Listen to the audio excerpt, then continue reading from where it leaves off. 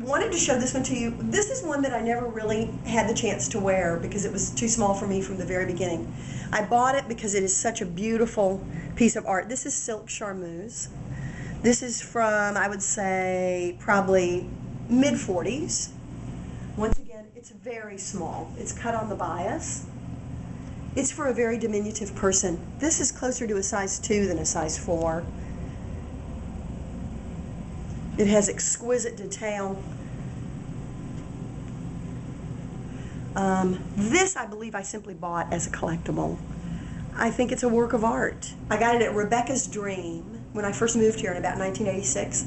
Rebecca's Dream was an incredible fashion house, vintage fashion house in Pasadena, California, which is where I moved, where I lived when I first moved here. So I bought this within the very first months of moving here, and I love the name of the store, and I loved the beauty of this piece. Mwah. It is, it is a piece of art. It's a piece of art, and uh, I've often taken it out and just looked at it. That's the way I am.